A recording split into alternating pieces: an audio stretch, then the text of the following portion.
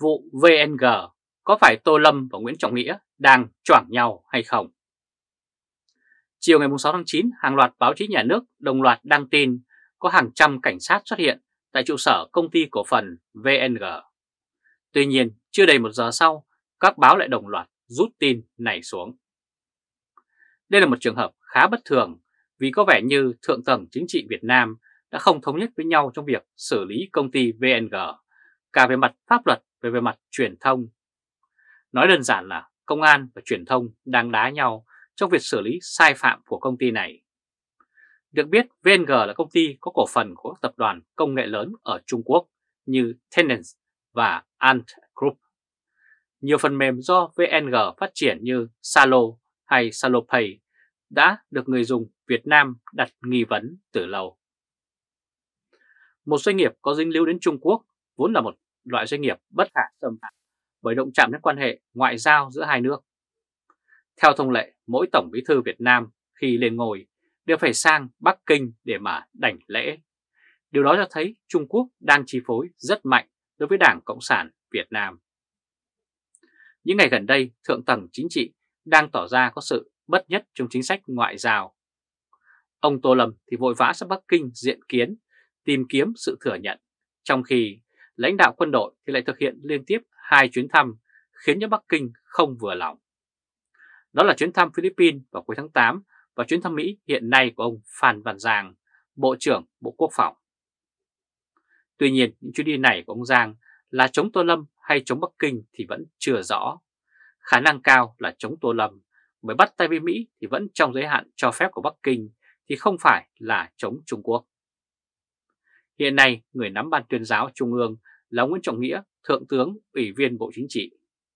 Ông Nghĩa là một trong hai vị tướng quân đội được ông Nguyễn Phú Trọng kéo về ban bí thư để gia cố ban này. Giờ đây, ban bí thư do ông Tô Lâm làm chủ, thì những người được ông Trọng cơ cấu, một là phải thích nghi với chủ mới, hai là phải rời khỏi ban bí thư. Việc báo chí rút bài về vụ AVG cho thấy hai điều. Thứ nhất là Nguyễn Trọng Nghĩa dùng tuyên giáo để chống lại ông Tô Lâm.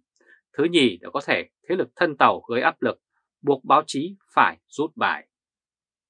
Như vậy, cả hai lần cháy Tô Lâm đều do phía quân đội làm ra, một lần sau Phan Văn Giang, một lần do Nguyễn Trọng Nghĩa. Liệu rằng đây có phải là chủ trương của phe quân đội muốn đối đầu với phe công an hay không? Có lẽ cần thêm thời gian để mà kiểm chứng. Những ngày gần đây có luồng dư luận hy vọng rằng chính quyền của Đảng Cộng sản Việt Nam sẽ xích lại gần hơn với Mỹ, đặc biệt là trong vấn đề an ninh quốc phòng. Cuộc chiến Ukraine đã chứng minh sức mạnh của vũ khí Mỹ Việt Nam rất cần hợp đồng mua vũ khí tối tân từ Mỹ như Đài Loan đã và đang làm để có thể hiên ngang tự quyết mà không cần phải rụt rè trước Bắc Kinh. Mới đây, tờ báo New York Times, một tờ báo lớn của Mỹ được Việt Nam cho phép đặt văn phòng thường trú tại Việt Nam. Tuy nhiên, đây chỉ là một bước xích lại gần Mỹ trong giới hạn, vì dù báo Mỹ có mặt ở Việt Nam thì cũng chỉ có tác dụng thuận tiện hơn trong việc đưa tin về tình hình Việt Nam, chứ không đủ sức mạnh để gây ảnh hưởng đến quan hệ quốc tế. Khi nào Việt Nam mua được máy bay F-16, tàu ngầm hay nhiều loại vũ khí tối tân khác mà Ukraine đang sử dụng, thì lúc đó có thể tin rằng giới lãnh đạo Việt Nam phá lẩn danh tiến gần tới Mỹ hơn. Hai lần phe quân đội đi lệch hướng của Tô Lâm cũng chưa thể cho thấy có phe nào thân Mỹ trong đảng. Điều này chỉ cho thấy rằng đảng không thống nhất về đường lối và các phe đang đánh phá lẫn nhau. Để có thể đánh giá xem phe thân Mỹ hay không, thì cần thêm thời gian và chính sách táo bạo hơn nữa trong quan hệ ngoại giao giữa Mỹ và Việt Nam và chúng ta hãy cùng đợi xem. Quý vị và các bạn vừa theo dõi bản tin vụ VNG có phải Tô Lâm và Nguyễn Trọng Nghĩa đang choảng nhau hay không? Quý vị và các bạn chia sẻ video này cho nhiều người biết và bấm nút theo dõi YouTube và Facebook của Thời báo.de để luôn được cập nhật những bản tin mới nhất, nhanh nhất và trung thực nhất. Từ Berlin, Cộng hòa Liên bang Đức chào các bạn và hẹn gặp lại các bạn ở bản tin lần tới. Trung Khoa Thời báo chấm đề Bạo lực là công cụ duy nhất, liệu Tô có dám nới lỏng thỏng lọng khi ngồi ngôi tổng hay không? Tô Lâm lên làm tổng bí thư không như những người trước đó. Tô Lâm lên ngôi bằng cách đánh cướp chứ không phải là người được chọn. Khi ông Nguyễn Phú Trọng mới lên tổng bí thư, ông không có kẻ thù, nhưng vì tham vọng lấy lại vị thế đã mất về văn phòng Trung ương Đảng, Nên sau đó Vũ đài chính trị Việt Nam mới hình thành hai thế lực kèn cựa nhau suốt gần 5 năm trong nhiệm kỳ 2011-2016. Ngôi Tổng Bí Thư lẽ ra thuộc nhóm Nghệ An sau khi Tổng Trọng qua đời nhưng do Tô Lâm làm phản nên đã làm xáo trộn tất cả. Nhóm Nghệ An thất thế nên im lặng chịu đòn, tuy nhiên mầm họa với Tô Lâm thì vẫn còn đó. Dù Vương Đình Huệ đã ngã ngựa nhưng Nghệ An vẫn còn hai ủy viên Bộ Chính trị và hàng chục ủy viên Trung ương Đảng trong đó có một số nhân vật đang vận động để được vào Bộ Chính trị ở nhiệm kỳ sau. Ngoài ra, nhóm Hà Tĩnh cũng đông đảo không hề kém. Ông Tô Lâm lên làm Tổng Bí Thư chắc chắn sẽ dùng quyền lực chèn ép hai thế lực này để dọn đường cho thế lực Hưng Yên lớn mạnh. Lợi ích của nhóm Hưng Yên lớn bao nhiêu thì lợi ích bị tước đoạt của hai nhóm lớn này cũng sẽ lớn bấy nhiêu. Có thể nói Tô Lâm ngồi ghế Tổng Bí Thư trong bối cảnh có rất nhiều thế lực đang trực chờ cơ hội để giật lại những gì đã mất. Trong giới quan sát và phân tích chính trị, nhiều ý kiến cho rằng Tô Lâm lên ngồi đồng nghĩa với thời kỳ công an trị thắt chặt hơn. Nhưng cũng có ý kiến lạc quan cho rằng Tô Lâm sẽ là nhà cải cách, sẽ nới lỏng hơn với thời ông Trọng. Lúc này thì vẫn còn quá sớm để mà kết luận, tuy nhiên dựa trên những diễn biến đang diễn ra trên vũ đài chính trị, vẫn có thể dự đoán phần nào chính sách của Tô Lâm.